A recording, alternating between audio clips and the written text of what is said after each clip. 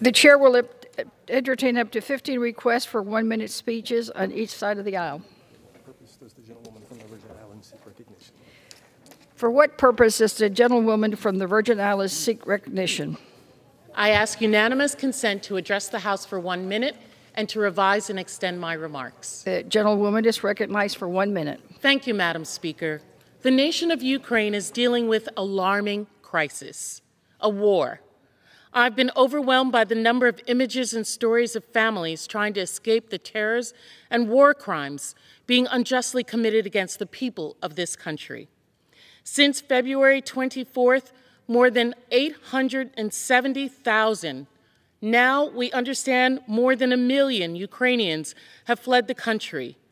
However, within that exodus are disturbing reports of mistreatment of black families, Africans, Asians, as they try to evacuate a deadly war zone. This is unacceptable. My office has been working with other members of the Congressional Black Caucus, Chairman Greg Meeks of Foreign Affairs, Barbara Lee of Appropriations, to determine the veracity, the specifics, and the extent of the allegations.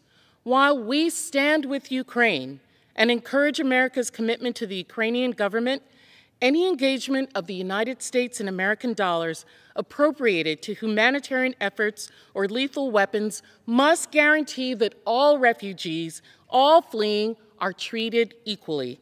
We will not move from that position. I yield back.